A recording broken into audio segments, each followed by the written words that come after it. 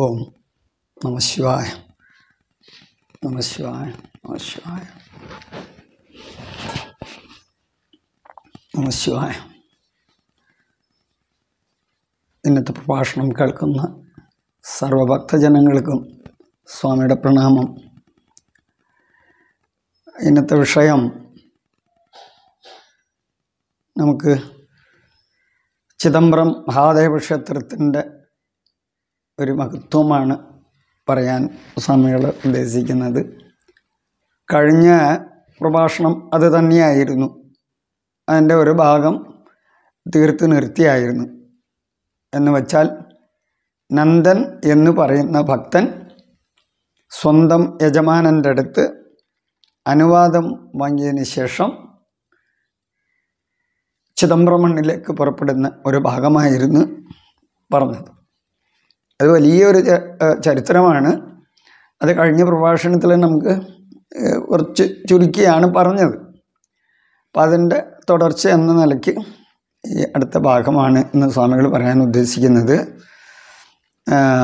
ആദ്യത്തെ പ്രഭാ ഇതിന് ഇതിന് മുമ്പുള്ള പ്രഭാഷണം ജനങ്ങൾ കേട്ടിട്ടുണ്ടാവും എന്ന് സ്വാമികൾ വിശ്വസിക്കുന്നു വിചാരിക്കുന്നു. നന്ദൻ എന്ന് പറയുന്ന വ്യക്തിയെക്കുറിച്ച് നേരത്തെ ഞാൻ പറഞ്ഞിട്ടുണ്ടായിരുന്നു. സംഭവ സമൂഹത്തിൽ ഉള്ള ഒരു വ്യക്തിയാണ്. നമ്മളിപ്പോൾ അവരെ പറയർ പറയ സമൂഹം എന്നൊക്കെയാണ് സാധാരണ ഭാഷയിൽ പറയാറ്. പക്ഷേ അവർ സാംഭവരെന്നാണ് അവരെ അറിയപ്പെടുന്നത്. ആ സമൂഹത്തിൽ ഉള്ള വ്യക്തിയാണ് അദ്ദേഹം. യാതൊരു വിദ്യാഭ്യാസവും യാതൊരു ജ്ഞാനമാർഗവും അറിയാത്ത ഒരു മനുഷ്യനാണ്. അവരുടെ ആഹാര രീതികൾ എന്ന് പറഞ്ഞാൽ മത്സ്യമാംസാദികളാണ് അവരുടെ പ്രധാന ഭക്ഷണം. കൃഷിപ്പണിയാണ് അവരുടെ പ്രധാന പണി. കാളകണ്ടി അയ്യർ എന്ന് പറയുന്ന നമ്പൂതിരി അയ്യർ എന്നാ പറയുക തമിഴ് മണ്ണിൽ. കാളകണ്ടി അയ്യരുടെ അടുത്ത് അവരുടെ പാരമ്പര്യമായിട്ട് ജോലി ചെയ്യുന്ന ഒരു കുടുംബക്കാരാണ് അവർ. ആ കുടുംബത്തിലുള്ള ഒരാളാണ് നന്ദൻ. അങ്ങനെയാണ് അദ്ദേഹത്തിന് ചിദംബരത്തെക്കുറിച്ച് കേൾക്കാനും ചിദംബരത്തെക്കുറിച്ച് മനസ്സിലാക്കാനും ചിദംബരത്തെക്കുറിച്ച് മനസ്സ് ബോധമണ്ഡലത്തിലേക്ക് കൊണ്ടുവരാനൊക്കെ സാധിച്ചത്. അപ്പോൾ ഇതിന് മുമ്പ് അതിന്റെ ചരിത്രത്തെക്കുറിച്ച് നമ്മൾ കൃത്യമായിട്ട് പറഞ്ഞിട്ടുണ്ടായിരുന്നു. അപ്പോൾ യജമാനന്റെ അടുത്ത് അനുവാദമൊക്കെ വാങ്ങി ചിദംബരത്തിലേക്ക് പുറപ്പെട്ടു. നടന്നു തന്നെ പോവാ. അപ്പോൾ യജമാനൻ പറഞ്ഞു നന്ദാ നിനക്ക് എന്താണ് വേണ്ടത്? പോകാനുള്ള വില്ല് വണ്ടി ഞാൻ തരാം. അന്നത്തെ കാലത്ത് വില്ല് വണ്ടി എന്ന് പറഞ്ഞാൽ ഇന്നത്തെ കാലത്ത് ബെൻസിൽ പോകുന്ന പവറാണ് അപ്പം എത്ര പത്ത് യോജന ദൂരം മാറി നിൽക്കേണ്ട പറയനോടാണ് അന്നത്തെ നമ്പൂതിരി പറയുന്നത്. നീ അത്ര മഹത്വമുള്ളവനാണ്. അതുകൊണ്ട് നിനക്ക് ഞാൻ വില്ലുവണ്ടി വില്ല് വണ്ടി അയക്കാം നിന്നെ കൊണ്ട് ചിദംബരത്താക്കും. അപ്പോൾ നന്ദൻ പറഞ്ഞു യജമാന ആണ്ടേ ആണ്ടേ എന്ന് വിളിക്കും. ആണ്ടേ എന്ന് വിളിച്ചാൽ യജമാനൻ എന്ന് യജമാന യജമാന്മാരെ വിളിക്കുന്നതാണ് ആണ്ടേ എന്ന്. ആണ്ടേ എന്ന് പറഞ്ഞാൽ ദൈവമേ എന്നർത്ഥം. അപ്പോൾ യജമാനനെ വിളിക്കുന്നത് ദൈവമേ എന്നാണ്. ഇവിടെ നമ്മുടെ മലയാള ഭാഷയിലെ തമ്പുരാന് എന്നൊക്കെ പണ്ട് വിളിച്ചുകൊണ്ടിരുന്നത് പോലെ. അപ്പോൾ അദ്ദേഹം പറഞ്ഞു ആണ്ടേ അതൊന്നും എനിക്ക് വേണ്ട. നീ പൊയ്ക്കോളൂ എന്നൊരു അനുവാദം മാത്രം എനിക്ക് തന്നാൽ മതി. അങ്ങനെ കാലവണ്ടി അയ്യർ അനുവദിച്ചു. അദ്ദേഹം യാത്ര പുറപ്പെട്ടു. അങ്ങനെ അവിടെ നിന്ന് ഏതാണ്ടും പത്ത് കാത ദൂരം നടന്ന് കഴിഞ്ഞപ്പോൾ തിരുപ്പൻകൂർ എന്ന് പറഞ്ഞ് ഒരു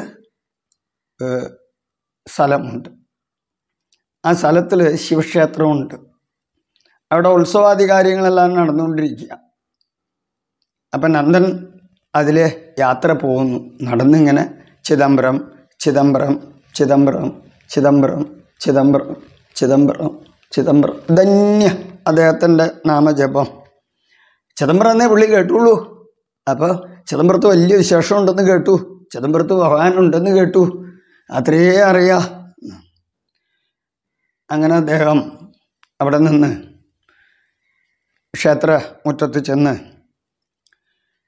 കുറേ അകലെ നിൽക്കണമല്ലോ. പറയന്മാർ പത്ത് യോജനം മാറി നിൽക്കണമല്ലോ. അദ്ദേഹം അങ്ങനെ മാറി നിന്ന് പാടത്ത് ജോലി ചെയ്ത പാടേ വരിക. ചെളി മുണ്ട് ഒക്കെയാ മുണ്ടൊക്കെ ചെളി. അപ്പോൾ ഭഗവാനെ കാണണം പുള്ളിക്ക് ഭയങ്കര ആഗ്രഹം അകത്തിരിക്കുന്ന ഭഗവാനെ കാണണം. അപ്പോൾ കാണാൻ സാധിക്കുന്നില്ല. ഒരുപാട് ജനങ്ങളുണ്ട്. അപ്പോൾ അതിന്റെ മുൻവശം നന്ദി പ്രതിഷ്ഠയുണ്ട് ഋഷഭവാഹൻ അപ്പോൾ അതും കൂടി ഉള്ളത് കൊണ്ട് ഒട്ടും കാണാൻ പറ്റുന്നില്ല. അപ്പോൾ ഇദ്ദേഹം അവിടെ ഇരുന്ന് ഭഗവാനെ ആത്മാർത്ഥമായിട്ട് പ്രാർത്ഥിച്ചു എന്നാണ്. ഒരുപാട് മന്ത്രമൊന്നും ചൊല്ലിയില്ല. ഒരുപാട് മന്ത്രമൊന്നും ജപിച്ചില്ല. മന്ത്രം അറിയില്ല.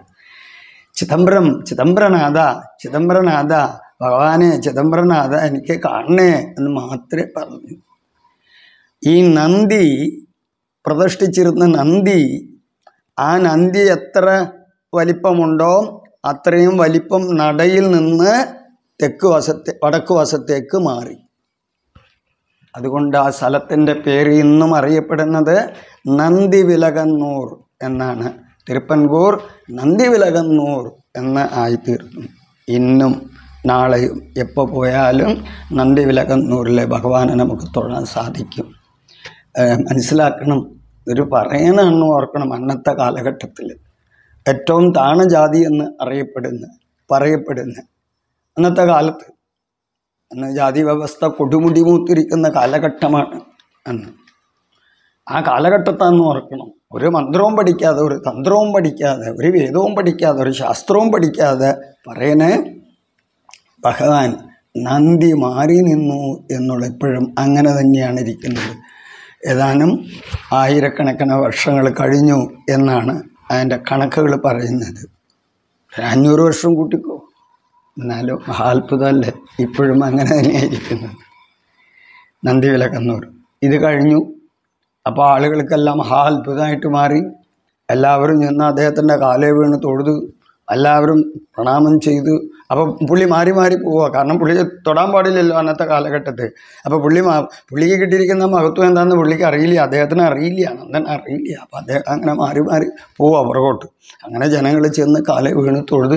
ഇതെല്ലാം കഴിഞ്ഞപ്പോൾ ഞങ്ങൾക്ക് എന്തെങ്കിലുമൊക്കെ എടുത്ത് തരണം പ്രസാദം തരണം. അപ്പോൾ കുറച്ച് ഭസ്മമൊക്കെ കൊണ്ടുവച്ചു. അപ്പോൾ അദ്ദേഹം പറഞ്ഞത് എന്റെ കയ്യിൽ അപ്പടി ചെളിയാ. ഞാൻ പാടത്ത് പണിയെല്ലാം കഴിഞ്ഞിട്ട് വരുന്നതാണ്. ഇതൊന്നും കൊടുക്കാനൊന്നും എനിക്ക് അറിയില്ല എനിക്ക് ഭഗവാനെ കാണണം ചിദംബരം പോകണം എന്നെ വിടണം എനിക്ക് പോകണം എന്നെല്ലാം പറഞ്ഞ് നന്ദൻ അവിടെ ഇരുന്നും യാത്ര പുറപ്പെട്ടു. നടന്നു. ചിദംബരത്തി എത്തി എന്നുള്ളതാണ്. ചിദംബരം മണ്ണിലേക്ക് എത്തി. നടരാജമൂർത്തി ക്ഷേത്രത്തിന്റെ പരിസരത്ത് എത്തി ആ, ആ, അത് ഏതാ ഒരു രാത്രി ഒരു പന്ത്രണ്ട് ഒരു മണിയോടുകൂടി ആ പരിസരത്ത് എത്തി എന്നുള്ളതാണ്. ആ കാലഘട്ടത്തിൽ മൂവായിരം ദീക്ഷതാൾ പൂജ ചെയ്യുന്ന ക്ഷേത്രമാണ് ചിദംബരം നടരാജമൂർത്തി ക്ഷേത്രം. മൂവായിരം ദീക്ഷതാൾ എന്ന് പറഞ്ഞാൽ മൂവായിരം തന്ത്രിമാർ അവരുടെ കീഴ് കീഴ്സാന്ധ്യം പരികർമ്മ്യം അതെല്ലാം വേറെ. തന്ത്രി മാത്രം മൂവായിരം പേർ അപ്പോൾ ഒരു തന്ത്രി എത്ര ദിവസം കഴിഞ്ഞാൽ പിന്നെ അടുത്ത തന്ത്രി. പിന്നെ മാസങ്ങൾ വർഷങ്ങൾ കഴിഞ്ഞിട്ട് വേണം അടുത്ത തന്ത്രിക്ക് വരാൻ.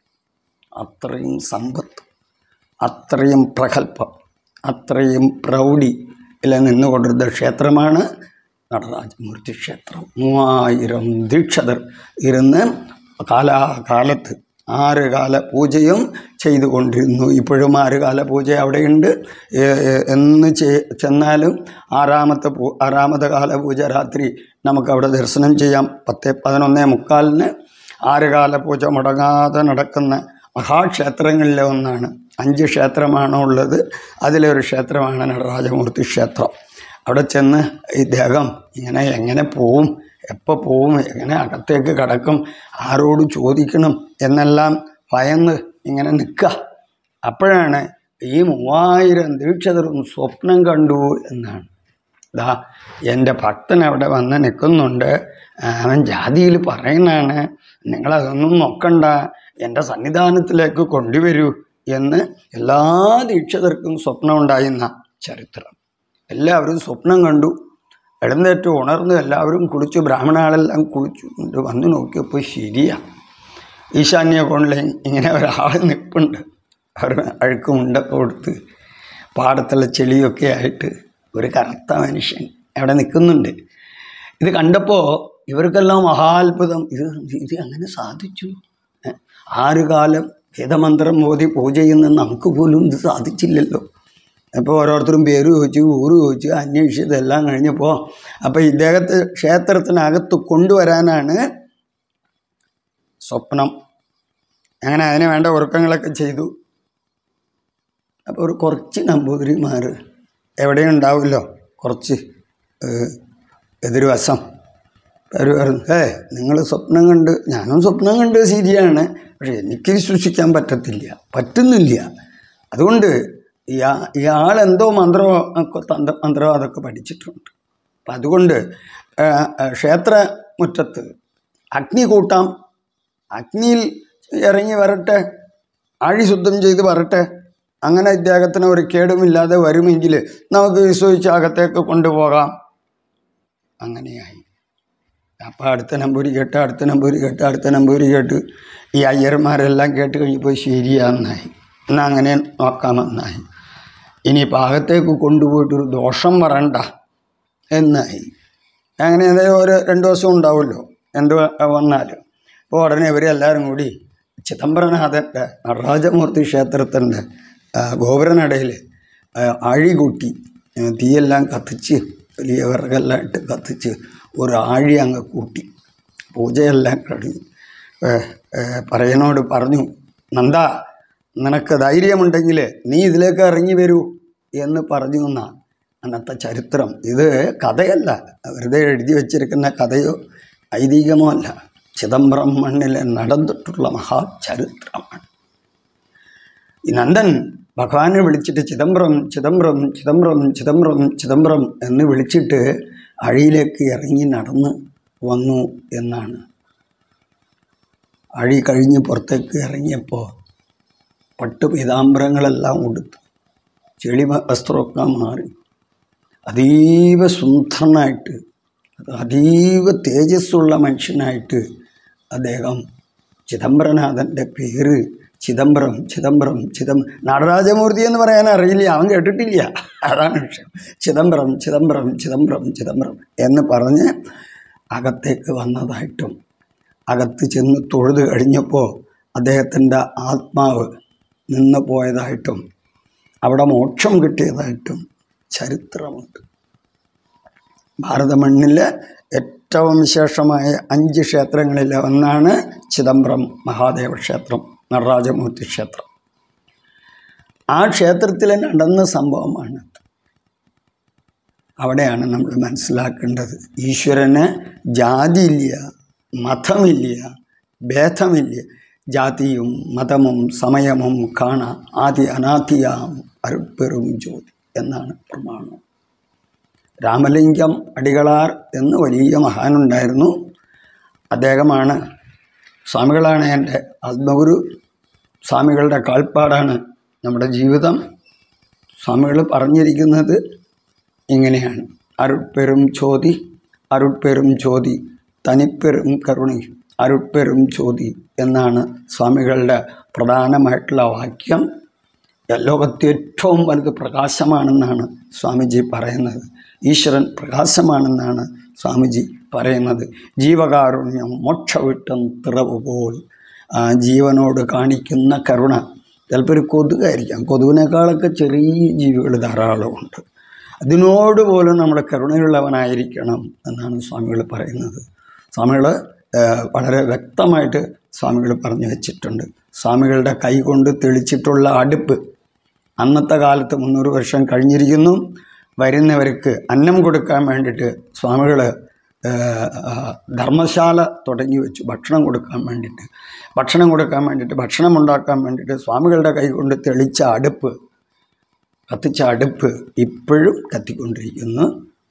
എപ്പോൾ പോയാലും വടലൂർ മണ്ണിലേക്ക് ചെന്ന് കഴിഞ്ഞാൽ ആശ്രമത്തിൽ ചെന്ന് കഴിഞ്ഞാൽ സ്വാമികളെ തെളിച്ച അടുപ്പ് ഇപ്പോഴും തെളിഞ്ഞുകൊണ്ടിരിക്കുന്നു. അതേപോലെ തന്നെ സ്വാമികളുടെ കൈകൊണ്ട് തെളിച്ച മൂന്ന് വിളക്ക് ഇപ്പോഴും കെടാതെ സൂക്ഷിക്കുന്നുണ്ട്. അതിന് പൂജയുണ്ട്. വലിയ അനുഷ്ഠാനാചാരങ്ങളൊക്കെ ഉണ്ട്. സ്വാമിജി പറഞ്ഞ് വളരെ പ്രധാനമായിട്ടുള്ളൊരു വാക്കാണ്. ജാതിയും മതമും സമയവും കാണ ആദ്യ അനാദ്യാം അരുൾ പെരും ചോതി ഏറ്റവും വലിയ പ്രകാശം എന്നാണ്. വെച്ചാൽ ജാതി മതം ഭേദം സമയം ഇന്ന സമയം കാലത്ത് ഉച്ചയ്ക്ക് രാവിലെ പൂജ നാല് മണിക്ക് പൂജ അല്ലെങ്കിൽ പത്ത് മണി ഇങ്ങനെ ഒന്നുമില്ല അതെല്ലാം നമ്മളൊരു ചിട്ടയ്ക്ക് വേണ്ടി നമ്മൾ ചെയ്തു വെച്ചിരിക്കുന്നതാണ്. ഒരു അനുഷ്ഠാന ചിട്ടയ്ക്ക് വേണ്ടിയിട്ട് മനുഷ്യനന്മയ്ക്ക് വേണ്ടിയിട്ട് ചെയ്തു വെച്ചിരിക്കുന്നതാണ്. ഈശ്വരനെ സംബന്ധിച്ചോളം ജാതിയില്ല മതമില്ല ഭേദമില്ല ആദ്യമില്ല അവസാനമില്ല സമയമില്ല കാലമില്ല. ഇതാണ് ഈശ്വരൻ എന്നാണ് സ്വാമികൾ പറഞ്ഞത്. അപ്പോൾ ജാതിക്കും മതത്തിനും യാതൊരു പ്രാധാന്യം അവിടെ ഇല്ല. ഭക്തിക്കാണ് പ്രാധാന്യം. ഭക്തി എവിടെയുണ്ടോ അവിടെ മുക്തിയുണ്ട്. മുക്തി എവിടെയുണ്ടോ അവിടെ മോചനമുണ്ട്. മോചനം എവിടെയുണ്ടോ അവിടെ മോക്ഷമുണ്ട്. അങ്ങനെയാണ് മോക്ഷപ്രാപ്തിയിലേക്ക് എത്തുക. ആദ്യം ഭക്തി ഉണ്ടാകും. അത് ഏറ്റവും വലിയ ബുദ്ധിമുട്ടാണ് കിട്ടാനായിട്ട്. ജന്മജന്മാന്തര സുഹൃതം കൊണ്ട് വേണം കിട്ടാൻ. അങ്ങനെ കിട്ടിയെങ്കിൽ മാത്രമേ ഭക്തി ഉണ്ടാവുക. ഭക്തി ഉണ്ടായാലോ ആ ഭക്തിയിൽ കൂടി മുക്തി ഉണ്ടാവും. എന്താണാവോ മുക്തി? അത് മനസ്സിലാക്കണ്ടേ. വിഷയാസക്തികളിൽ നിന്ന് നമ്മൾ മുക്തനാകും തീർത്തും. നമ്മളിപ്പോൾ കുടുംബജീവിതം ലോകജീവിതം എല്ലാം അനുഭവിച്ചു കൊണ്ടിരിക്കുന്നതിന്റെ അതെല്ലാം വിഷയശക്തികളാണ് ഒരു വിഷയങ്ങളിൽ നമ്മൾ വിഷയമാകുന്ന കാരാഗ്രഹത്തിലാണ് നമ്മൾ. വിഷയാസക്തിയിലാണ് നമ്മൾ നിലനിൽക്കുന്നത് ആ വിഷയാസക്തിയിൽ നിന്ന് നമ്മൾ മുക്തനാവും. അതിനാണ് മുക്തി ഉണ്ടാക്കുക. അത് ഭക്തി ഉണ്ടെങ്കിലേ നമുക്ക് മുക്തി ഉണ്ടാകുക ആ മുക്തി ഉണ്ടായാലോ മോചനമുണ്ടാവുക. മോചനമുണ്ടാവുക എന്ന് വെച്ചാൽ എന്താണ് പഠിക്കണ്ടേ? ഓരോ കാര്യത്തിലും നമുക്ക് അത് ഇന്നത് ചെയ്താൽ മതി. ഇന്നതുപോലെ ചെയ്യണം. ഇന്നതുപോലെ ചെയ്താൽ ഇന്നതുപോലെ ആവും. എന്നുള്ള കൃത്യമായ ബോധം നമുക്കുണ്ടാവും. കറയില്ലാത്ത ബോധം. അതാണ് ഈശ്വരൻ. കളങ്കമില്ലാത്ത ബോധം. അതാണ് ഈശ്വരൻ. ശുദ്ധമായ ബോധം. അതാണ് ഈശ്വരൻ. അത് നമുക്ക് ഉണ്ടാവും. അതിനാണ് ഭക്തി മുക്തി മോചനം എന്ന് പറയുക. അപ്പം സർവ വിഷയാശക്തികളിൽ നിന്നും നമ്മളെ മോചിതനായി തീർന്നാൽ ലോകമെല്ലാം നമുക്ക് ഒന്നാണ്. അവിടെ രണ്ടില്ല അവിടെ മതമില്ല ജാതിയില്ല ഭേദമില്ല മറമില്ല ചെടിയില്ല വൃക്ഷമില്ല മ്ലാവില്ല സൂര്യനില്ല ഭൂമിയില്ല ഒന്നുമില്ല ജലമില്ല ഒന്നുമില്ല. അവിടെ നമ്മൾ നമ്മളായിത്തീരും ഈശ്വരനെ മാത്രമേ നമുക്ക് അവിടെ കാണാൻ കഴിയുള്ളൂ. ചൈതന്യത്തെ മാത്രമേ നമുക്ക് അവിടെ കാണാൻ കഴിയുള്ളൂ. നമ്മളവിടെ ചൈതന്യമായി തീരും. വേറെ ഒന്നും ഒരാ ഒരു വ്യക്തിയോടൊന്നും നമുക്ക് പറയാനില്ല അവിടെ. അതിനെയാണ് മോക്ഷം എന്ന് പറയുന്നത്. മോക്ഷം എന്ന് വെച്ചാൽ എല്ലാവരും വിചാരിച്ചിരിക്കുന്നത് എന്തോ ദൈവത്തിലേക്ക് പോയി ലയിക്കുക. ഏതോ അവിടെ വേറെ എന്തോ സാധനമുണ്ട് അതാണ്. ആയി ആയിത്തീരുവാണ്.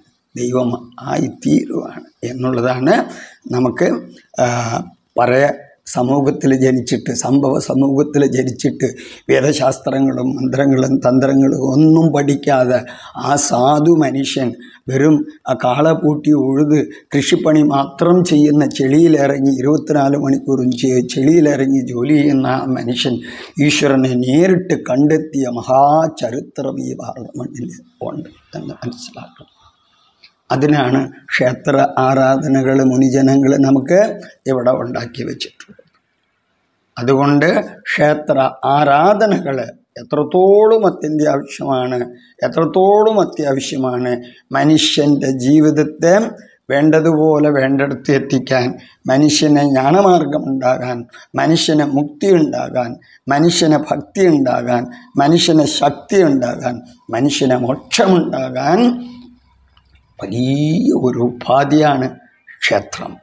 അതാണ് നമ്മൾ മനസ്സിലാക്കേണ്ടതായിട്ടുള്ള പ്രധാനമായിട്ടുള്ള ഒരു കാര്യം.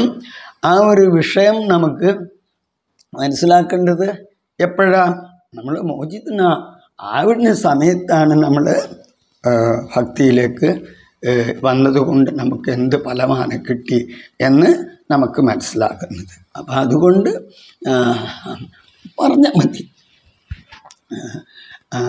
അതുകൊണ്ട് നമുക്ക് ഏറ്റവും പ്രധാനമായിട്ട് വരുന്നത് എന്താണാവോ ഭക്തിയാണ്. ആ ഭക്തിയോ എവിടെ നിന്നാണ് കിട്ടുക? അവിടെയാണ് വിഷയം. ആ ഭക്തി കിട്ടുമ്പോഴാണ് നമുക്കതിന്റെ വില എന്താണെന്ന് മനസ്സിലാക്കുക ആ ഭക്തി കിട്ടണമെങ്കിലോ ഇതുപോലെ ഉള്ള ക്ഷേത്ര സങ്കേതങ്ങൾ നമുക്ക് വേണം. ഗുരുജനങ്ങളുടെ സമ്പർക്കം നമുക്ക് വേണം. സജ്ജനങ്ങളുടെ സമ്പർക്കം നമുക്ക് വേണം. ഈ സജ്ജനങ്ങളുടെ സമ്പർക്കത്തിൽ കൂടി മാത്രമേ നമുക്കൊരു ഗുരുവിനെ കണ്ടെത്താൻ ആവൂ. ഇപ്പോൾ സജ്ജനങ്ങൾ ആരൊക്കെയാണ്? അവിടെയാണ്. ഇപ്പോൾ ഞങ്ങളെ പോലെയുള്ളവരൊക്കെ സജ്ജനത്തിൽ വരും. ഗുരുവാന്നൊന്നും പറയാനാവില്ല. കുറച്ചൊക്കെ എന്തൊക്കെയോ അറിയാം. ഗുരു എന്ന് സ്വീകരിക്കേണ്ടത് കേൾക്കുന്നവരുടെ കടമയാണ്. അപ്പോൾ ഈ പ്രഭാഷണം ഭക്തിമാർഗം ഒക്കെ പറയുന്നത് മനുഷ്യൻ നന്മയെ കരുതിയാണ്. മനുഷ്യൻ കുടുംബത്തിലേക്ക് എങ്ങനെയെല്ലാം ജീവിക്കണം എന്ന് മനസ്സിലാക്കാൻ വേണ്ടിയാണ്. ഓരോ മനുഷ്യനും ഓരോ ബാധ്യതകളുണ്ട്. ഒരു മനുഷ്യൻ എന്താണ് എങ്ങനെയാണ് ജീവിക്കേണ്ടത് എന്നെല്ലാം കൃത്യമായിട്ട് ഭക്തിമാർഗത്തിൽ കൂടി ഉണ്ട്. ഭക്തിമാർഗത്തിൽ അത് ഇല്ല എന്നൊന്നും ആരും വിചാരിക്കേണ്ട. കുടുംബം ഒഴിവാക്കിയിട്ടോ വീട് ഒഴിവാക്കിയിട്ടോ ബന്ധുമിത്രാദികളെ ഒഴിവാക്കിയിട്ടോ ആണ് ഭക്തിമാർഗം പറ്റത്തുള്ളൂ എന്നുള്ള ധാരണ തെറ്റാണ്. ഗ്രഹസ്ഥം ഏറ്റവും വിശേഷമായിട്ടുള്ള ആശ്രമമാണ്. ഗ്രഹസ്ഥത്തിൽ നിന്നുകൊണ്ട് തന്നെ ഈശ്വരനെ കണ്ടെത്താൻ വളരെ എളുപ്പം സാധിക്കും. അത് എങ്ങനെയാണ് എന്ന് നമ്മൾ മനസ്സിലാക്കിയാൽ മാത്രം മതി. ഗ്രഹസ്ഥാശ്രമത്തിൽ നിന്നും കൊണ്ട് ഈശ്വരനെ എത്രയും പെട്ടെന്ന് നമുക്ക് കാണാൻ സാധിക്കും. ഈശ്വരനെ നമ്മളെപ്പോഴും കണ്ടുകൊണ്ട് തന്നെയാണ് ഇരിക്കുന്നത്. പക്ഷെ അതെന്താണെന്ന് മനസ്സിലാകാത്തത് കൊണ്ടാണ് ഇത്രയേ ഉള്ളൂ. കണ്ടത് ഈശ്വരനാണെന്ന് ബോധം നമുക്ക് എപ്പോൾ വരുന്നുവോ അപ്പം നമ്മൾ ഈശ്വരനായിട്ട് തീരും. ഓം നമശിവായ നമശിവായ നമശിവായ ഓം ശാന്തി ശാന്തി ശാന്തി. ഓം പൂർണമത പൂർണമിതം പൂർണാൽ പൂർണമുദശ്യതേ പൂർണസ്യ പൂർണമതായ പൂർണമേവാവശിഷ്യതേ ഓം ശാന്തി ശാന്തി ശാന്തി